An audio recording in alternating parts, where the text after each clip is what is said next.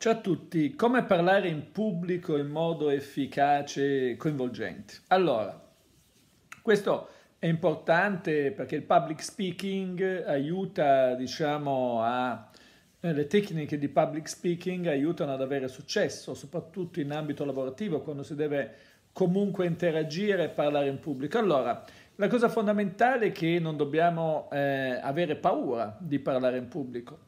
Per non avere paura dobbiamo esercitarci, somministrandoci l'autopenalizzazione. Cosa vuol dire? Io decido deliberatamente di vivermi la paura di parlare in pubblico.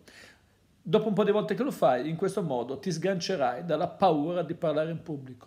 A questo punto eh, dovrai utilizzare le tecniche di public speaking. Allora, intanto la prima cosa da tenere presente è il tono di voce. Non puoi parlare con un tono monotono, annoi diventi una chiavica, devi utilizzare un tono di voce che per certi momenti è tranquillo, calmo, ogni tanto fai delle pause perché la pausa genera tensione e poi parla a un tono di voce più alto, quindi varia il tono di voce. Questo è fondamentale per tenere l'audience sempre sveglia, sempre ricettiva, sempre attiva.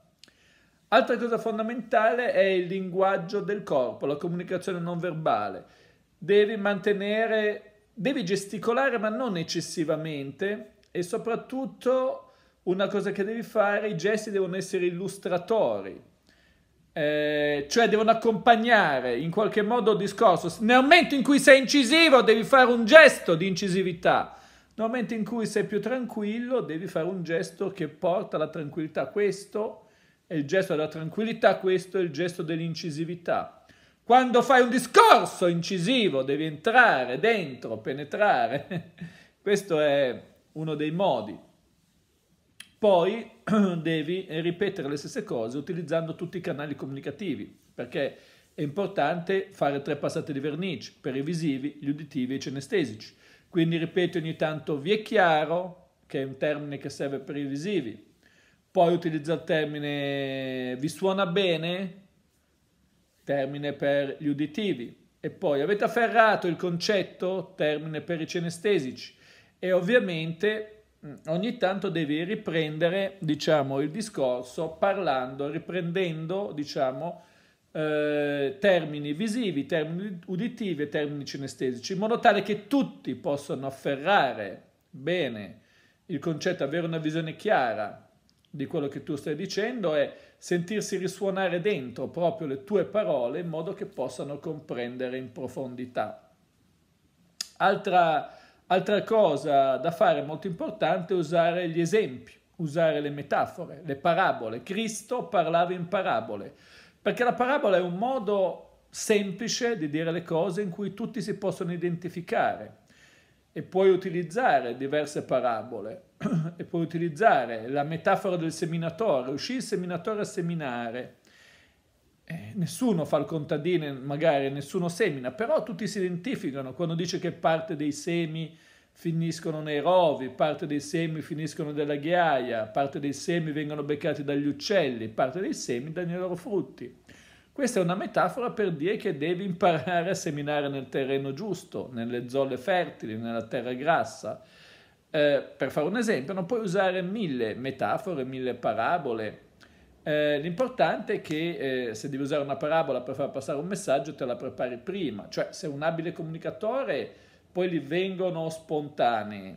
Però eh, diciamo agli inizi è meglio essere preparati, quindi è fondamentale prepararsi, altrimenti difficilmente poi riuscirai a raggiungere l'obiettivo che vuoi raggiungere. Se non, riesci, se non ti prepari bene in una situazione, difficilmente poi riesci a improvvisare, all'inizio perlomeno. All'inizio quindi è importante prepararsi bene quello che si vuole dire, però poi non focalizzarsi, non è che devi imparare a memoria, devi sapere quello che devi dire. Qua ci sono anche delle tecniche utili di mnemotecnica che sono ad esempio il metodo dei loci che serve per memorizzare, per ricordarti una sequenza di cose.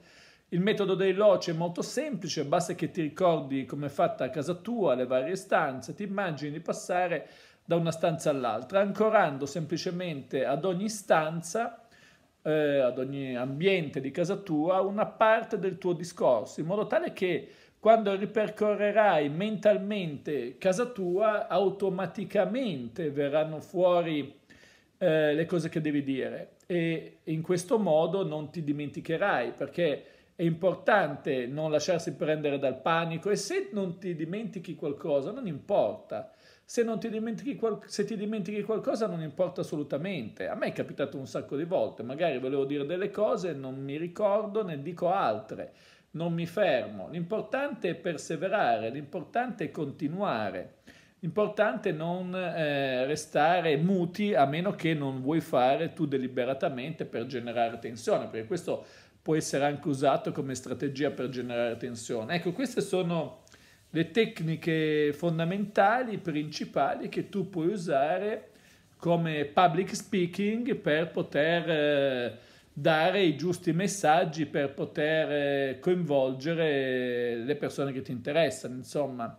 Eh, tieni presente anche che nella comunicazione, soprattutto nella comunicazione pubblica, ma nella comunicazione in generale, devi avere un obiettivo Nessun vento è favorevole per il marinaio che non sa dove andare, mentre tutti i venti so, possono essere favorevoli per il marinaio che sa dove andare. Quindi deve avere un obiettivo preciso, sapere esattamente quello che vuoi raggiungere, quello che vuoi ottenere, perché questo è fondamentale.